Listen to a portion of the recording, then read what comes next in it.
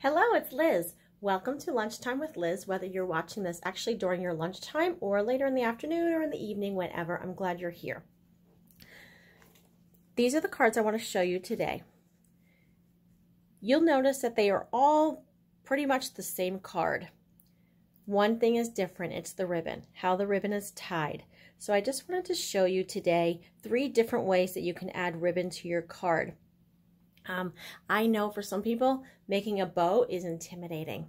I'm going to try today to show you again close up and slowly how I'm tying my bows. I will tell you, my bows don't always turn out perfectly. They just don't. There's time, some of the ribbons, they are easier to tie than bows than others. So if you're having a hard time with one ribbon, try a different type of ribbon. That sometimes helps. Um, they don't always turn out perfectly. So I just wanted to give you three options for putting ribbon. But don't just say, oh, I can't tie bows. I'm not going to use ribbon. Get some ribbon, and I'm going to show you three different ways that you can add ribbon to your card that's beautiful. So um, here are the three cards.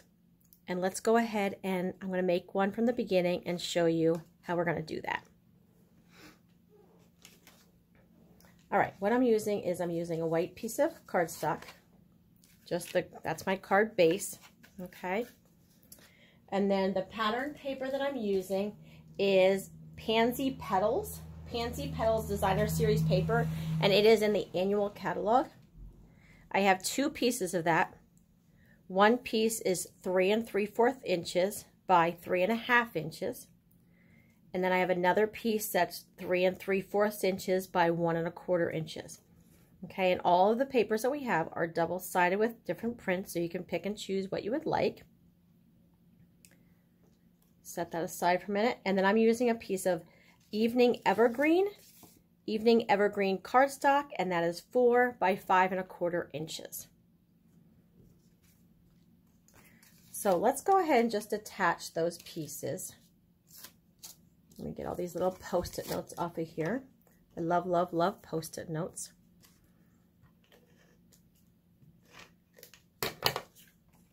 So generally speaking, I put about a quarter, no, about an eighth of an inch on all of my borders, generally speaking. Sometimes that changes. I'm putting that down, and then we're going to add the top piece. Hope you guys are doing well today in my area. It just started raining about maybe 15 minutes ago. And I think it's supposed to rain all day today.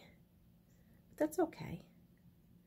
All right, I'm to put that down. And you'll notice there's a gap in the center. That's okay. We're going to be putting our ribbon right there. Okay, so this is, let me show you first. We're going to do an actual bow. Okay, hang on because I know some of you that's scary. We're going to do an actual bow.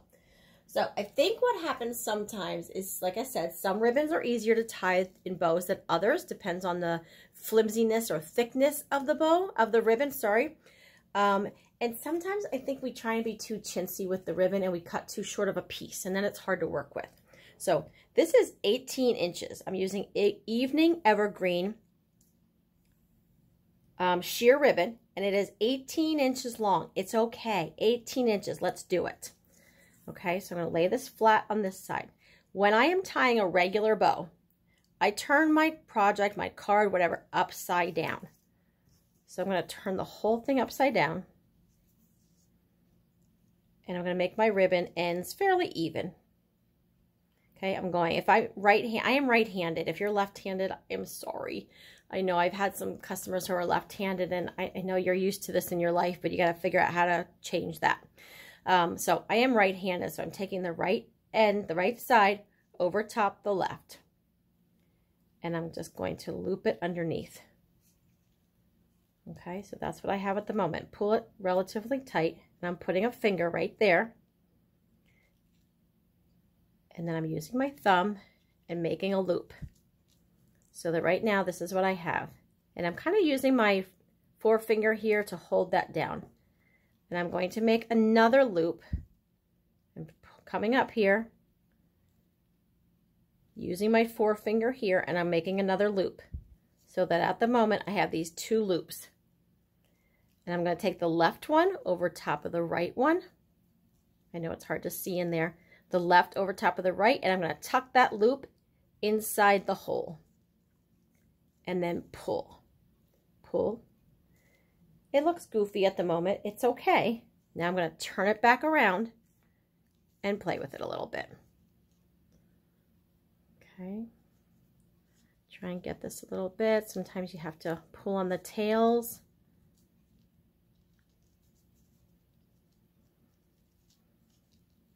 And I'm telling you, depending on the ribbon, sometimes mine don't come out the way I like them either. So sometimes you have to try again. Sometimes you need a longer piece of ribbon, and sometimes you just grab a whole different type of ribbon. Okay, so there we go. That's my ribbon. I'm going to actually cut off my tails just slightly. Okay, I would cut them here. Actually, I'm going to pull this off later. But I would cut my tails here.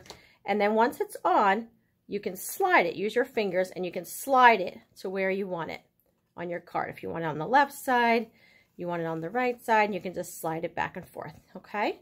So that's the actual bow. That's one option. I'm going to undo that, and I'm going to show you another one. So the next one is just putting a piece of ribbon on your card. This is five inches. And I'm just going to take some adhesive along the back of my card. Actually, let's put it all along the side. And then I'm taking this ribbon along the front, line it up where I want it to be, and just wrap that and stick it right on the stickiness on the back. Okay. And then I can just put that down on my card, and that's this one here. Just put that down on my card, put my sentiment over top, and there you just have some pretty ribbon, and that works. Okay, and this was the first one where I actually tied the bow.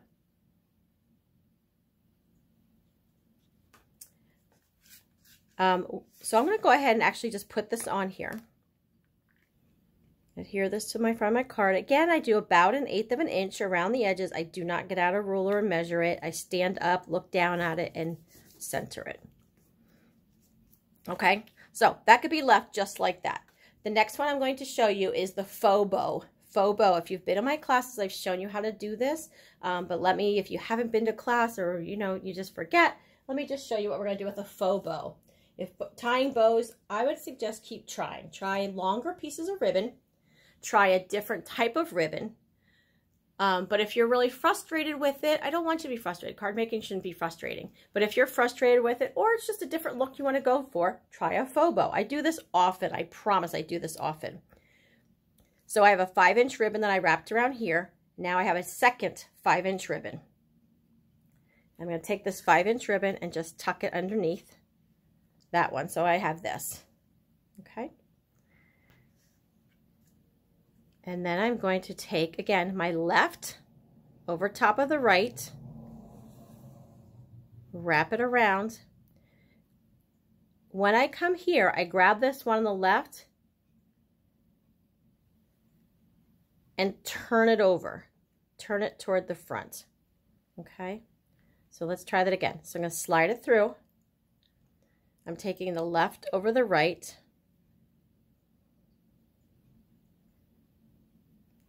put it through that hole and then turn it over. And you're just going to pull. Pull on your ribbon. And then once you have it on there, you can slide it wherever you want it to be. You want it over on the side, you can slide it down, you can slide it to the right. I'm going to slide it right here.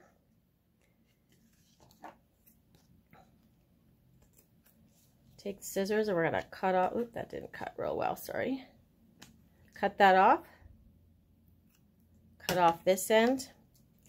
And there we have a faux bow, okay? So give that a shot. This is the faux bow here. And it doesn't tend to be as puffy or as big as the actual bow either. So sometimes we want it to be a little more flat than we're actually doing the bow. All right, so let's finish up this card here. I, this is the lovely label punch. I punched this out already. I'm using Evening Evergreen ink pad. The stamp set I'm using is called Heal Your Heart. This is actually not available right now. I don't usually do this to you, but this one is actually not available right now, Heal Your Heart. But if you were with me a while ago, this is one of the stamp sets from Sale-A-Bration in January and February. So Um, it is not available right now, and I apologize for that. But I know some of you have it already, so I just thought I'll do it. But you can grab any sentiment you have. And I'm using Evening Evergreen. And stamp straight down, straight back up. Just remember, no rocking when you're stamping. Not good. Rocking is good with babies, not so good with stamps. I'm going to use 2021-2023 in color jewels. Add a little bling to your projects. I use a scissors like this, or you could use a take a pick tool. Get underneath, pick them up, and they stick right down. There's different sizes on here. So you can vary the sizes of your gems that you're adding on. We all need a little bling, right? Okay, so that's it there. Grab our dimensionals. Just going to add a couple dimensionals on the back.